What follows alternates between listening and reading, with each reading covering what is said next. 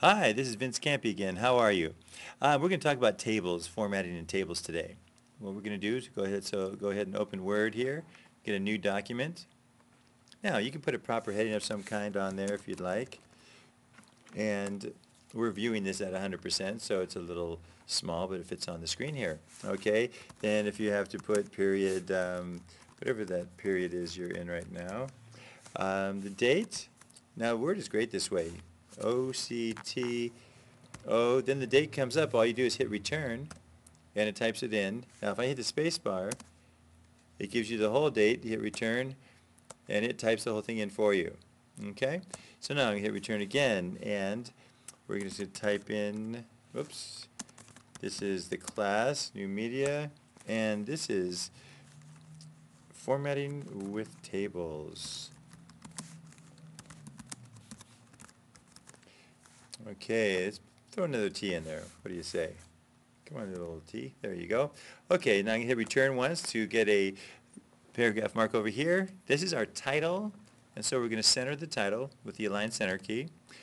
Okay, now, if you're doing word formatting um, or any kind of academic word processing, you'll want to use a 12-point font for pretty much most of it. You can go up to a 24-point in this uh, title here, but it's got to be Arial or Times Times New Roman, perhaps Courier.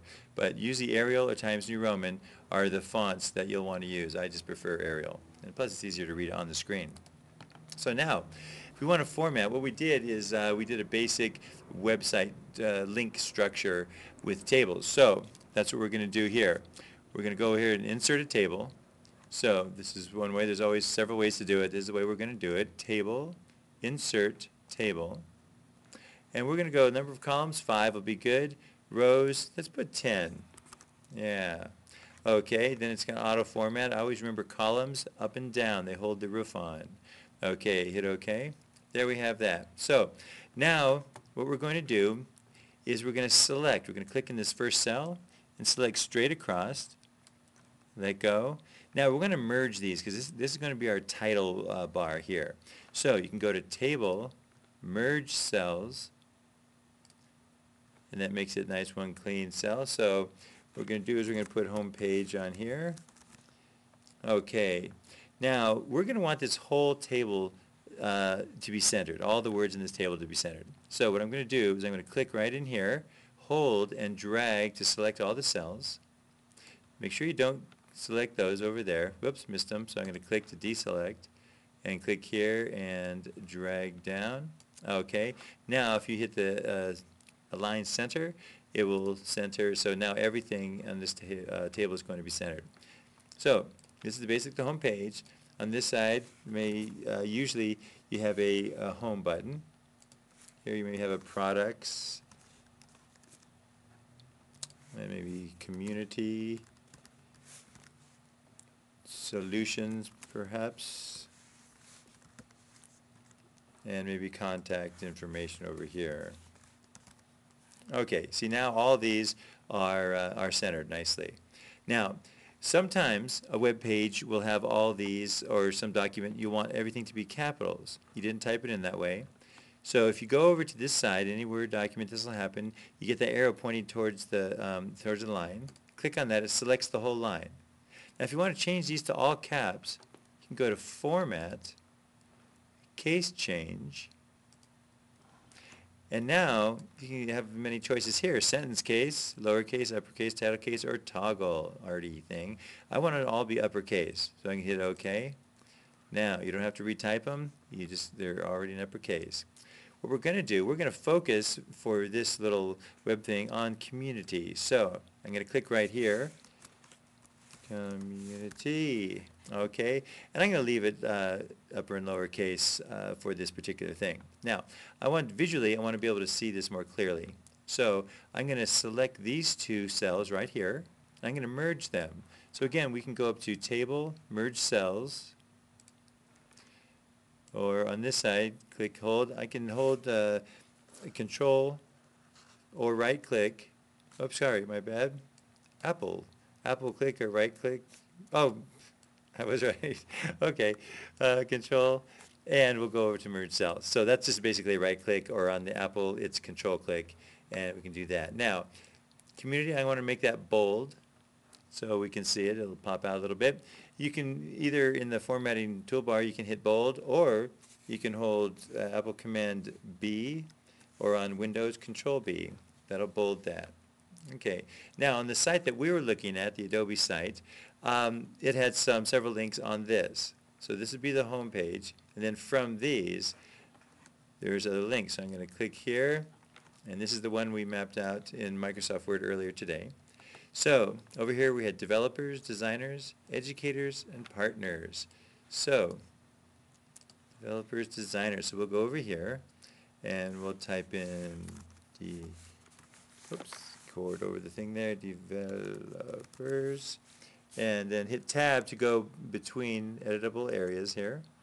Developers, designers, over here, educators, just so that they're basically in the same place that they were on the page. And uh, what was that last one? Let's see. Click over here.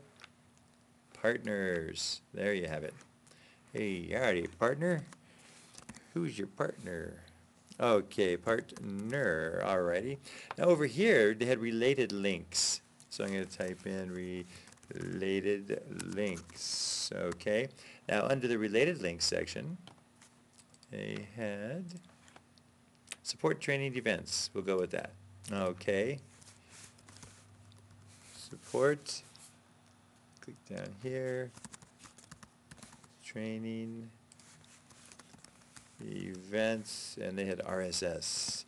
Really simple syntax. Okay, now we want this, we don't really want this to be centered because this is a, a subtitle and then these are under it. So we're going to do a left align of these cells. So you click in the cells and you just drag straight down and I'll select those and I'm going to go up and left align those.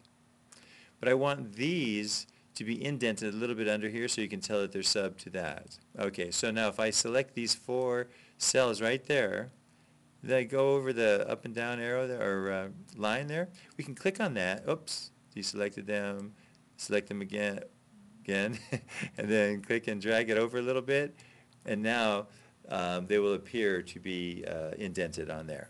Okay, so now here we have all the links that we're going to put on this. There were more, but uh, for this, um, this will get the point across. Okay, I want to do, I want to uh, do a 1.5 line spacing on this just to give it a little breathing room. So I'm going to click up here.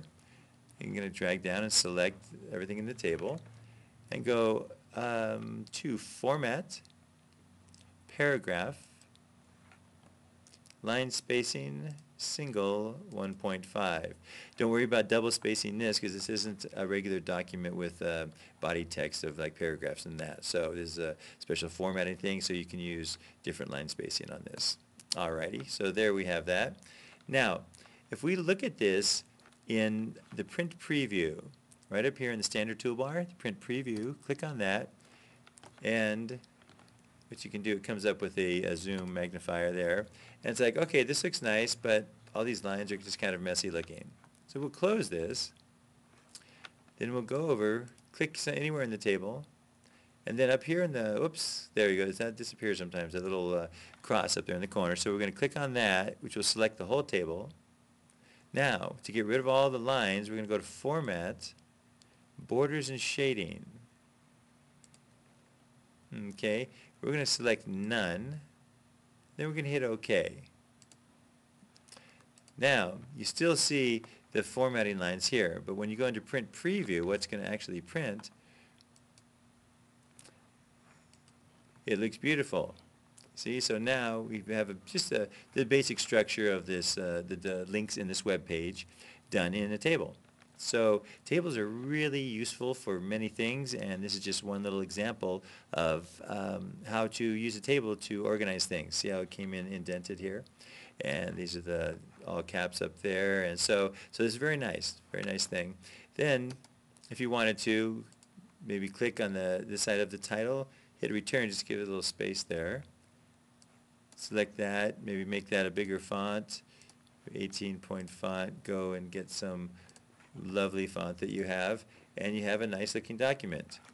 Click back over here and print preview, zoom in, and we have a beautiful uh, document built in tables, and no one would know when you print this out. They would have no idea that you built that in tables. So it's a lot easier and more durable than using tabs to do a similar type of thing. All right, take care. Bye-bye.